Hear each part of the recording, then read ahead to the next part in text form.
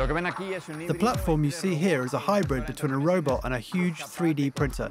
It can build complex 3D structures in diverse materials, including resin or aluminium, as is the case for the piece that I'm holding here. It has been designed to improve the efficiency and competitiveness of the European automotive and construction industry. How is that possible, and to what extent? European scientists here in Zaragoza in Spain have teamed up to find answers.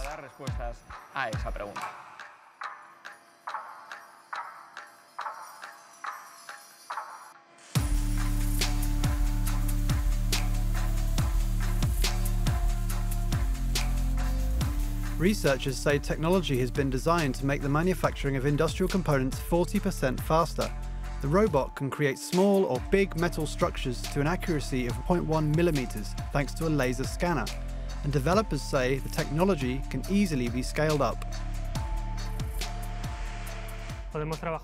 We can work on big surfaces, on areas of 20 metres in length, 4 metres wide and 4 metres high. Size is not a limitation to the technology.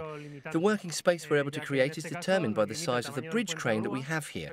But our platform can be installed on a bigger bridge crane, or another bridge crane without columns, or simply on a mobile robot.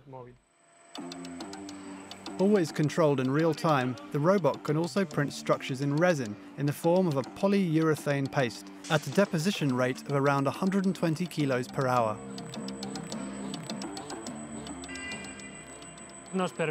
We can add material, we can print a complete 3D structure, as you have seen in the demonstrations. But we can also create shapes by extracting material from the surfaces. For instance, in the case of the castle mock-up behind me, we have been able to cut the top parts to obtain the neat finished end. This versatility allows us to build very complex structures and with very variable geometries.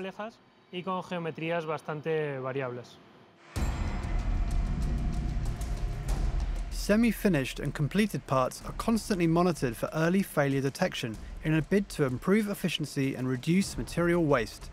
Researchers are now even looking beyond at other ways to enrich the system.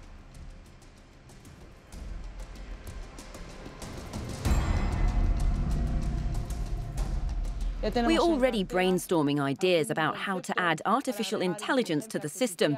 We're also working to enrich it with digital replicas and also with new human-machine interfaces. And we're also looking at a very important exploitation opportunity, the inclusion of this technology in other existing machine tools.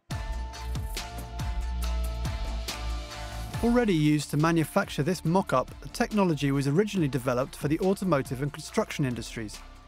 Researchers say they are now thinking wider. The aeronautical sector is very much interested in this solution. Also, the shipyard industry can use this technology to build ships and yachts.